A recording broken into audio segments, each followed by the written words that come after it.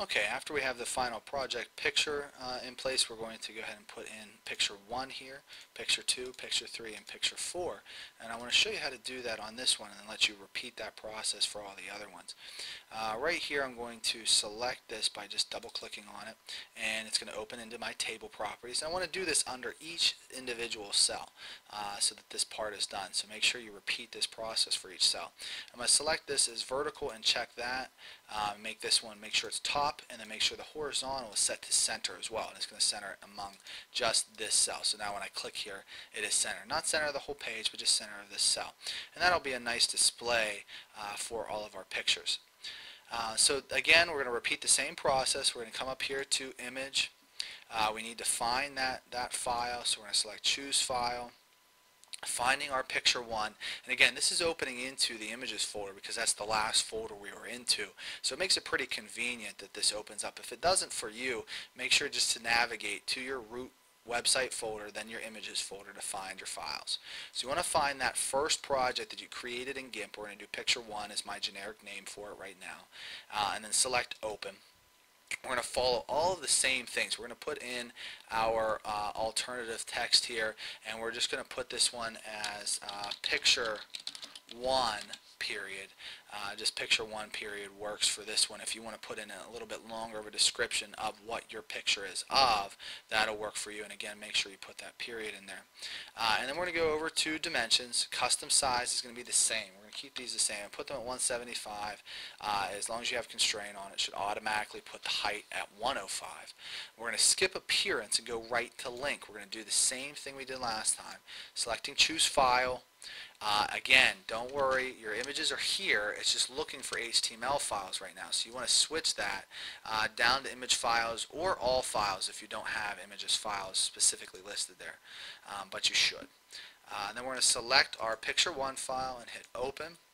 And now this file will be linked to our large one. So we're going to select OK there. And you can see how it centers it, and it looks like it's off, but don't worry about this alignment here. That's going to be corrected after we place our content inside this other cell.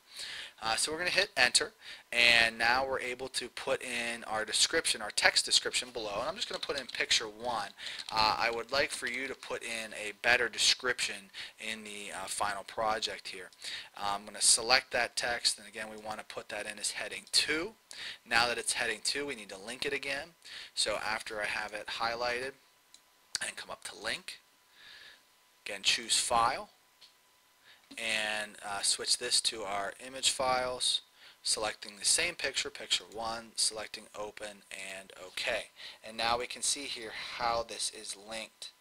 Uh, and we're going to repeat this process for picture 2. So I'm going to come over here and double clicking inside there, making sure that this is set vertical and horizontal. This is going to be top, this is going to be center, selecting OK. Looks like nothing's happening, but don't let that bother you. Uh, it will automatically adjust here in just a second. Uh, we're going to come back up to image. We're going to select choose file, and we're going to select picture 2. And this again is the second picture you created in your uh, GIMP unit, and we're going to select open. Do the same thing, alt text, I'm going to put in picture 2, but I would like you to put in a better description of what you used for that picture in that project. Then under dimensions, we're going to do the same thing, custom size, 175 and 105, link, we're going to link back to that original file, selecting image files here, and then putting in that original picture. Uh, and once we do that, we select OK. You can see here all's right with this uh, now, or this row, as they have automatically uh, resized. We're going to hit Enter. We're going to type in picture 2, again putting in a better description there of that picture uh, when you are completing this project.